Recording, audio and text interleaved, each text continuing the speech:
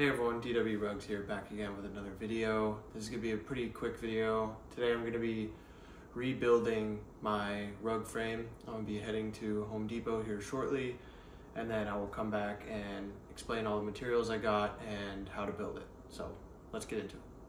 So we've got our carpet tack over here. We've got some corner braces here, some clamps to hold it down to the table, screws, the actual table, and all the wood is cut over there.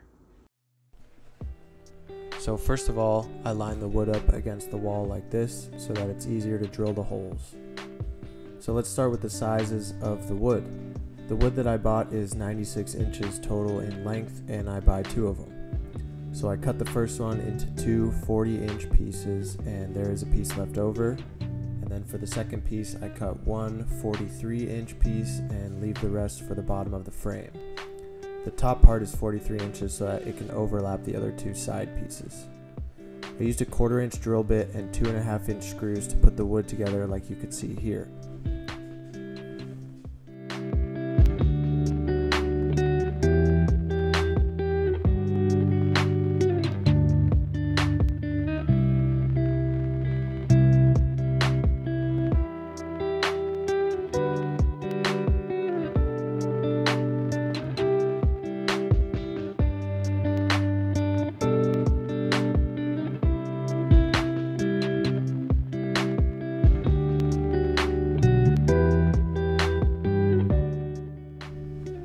Next we have the carpet tack and normally I get carpet tack with nails on them to secure to the wood but Home Depot only had tack with adhesive on the back but it held up pretty well so we'll see how the first rug goes with it.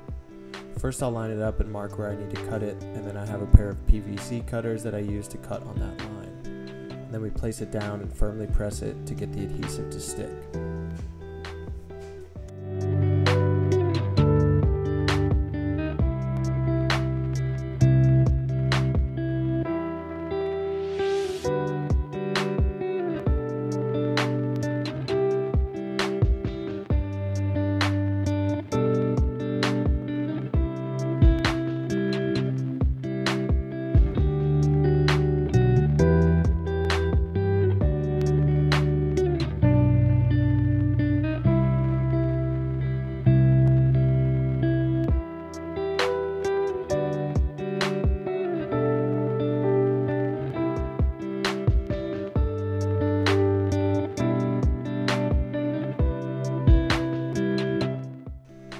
Next we will unfold the table and clamp the frame down and there you have the finished product.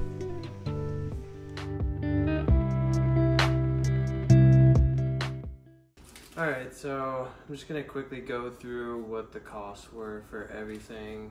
Uh, I went to Home Depot and so for the foldable table it was $39.88.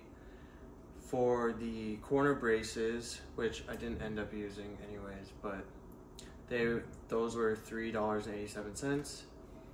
Um, the two clamps for the table were twelve dollars ninety six cents. The screws were seven dollars fifty eight cents for the box. The carpet tack was nine fourteen. The wood was six dollars and thirty six cents plus a six cent fee to have them cut. Um, so the total with tax was $86.03. So overall, it's not too expensive to build. But again, I know that there are some people that sell the parts that you could put together yourself um, to make a frame. I think they're around like 60 or $70. The only reason I wanted to make it myself was one, to make this video for anyone that wants to do it themselves, and two, because I wanted the frame to be three feet by three feet, and a lot of the ones I was seeing were like two feet by two feet or two and a half feet by two and a half feet. Um, so I wanted to make it the same size as the one I had beforehand. And yeah, so thank you for watching. I hope you took something away from this video. Hopefully you'll go and make your own rug frame now, and hopefully this helps. So thank you. I'll see you in the next video.